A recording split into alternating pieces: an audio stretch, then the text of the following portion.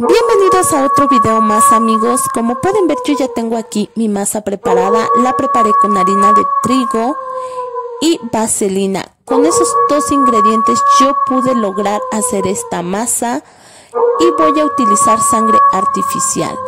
Esta masa va a simular nuestra piel sobre nuestra mano para representar una mano rota de los huesos para este día que ya se acerca, Día de Muertos, Día de Brujas, Día de este Día de Halloween, como ustedes lo llamen en su país o donde quiera que estén.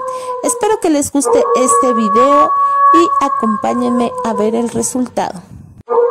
Y así es como nos tiene que quedar la masa, como pueden ver yo la coloqué. Le voy a poner maquillaje para simular que es la piel, que es nuestra mano y abajo está la masita. Lo vamos a poner muy muy bien lleno todo de maquillaje a cubrirlo.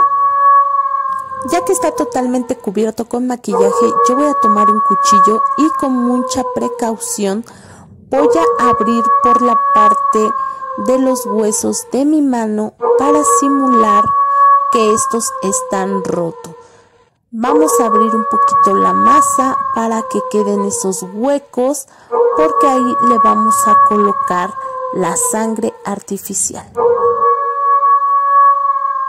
Ahora que ya tenemos las cortadas, yo voy a colocarles la sangre artificial por los huecos que hice, simulando que los huesos están rotos.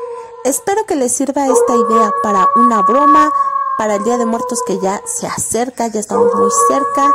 Muchas gracias por ver y nos vemos en el próximo.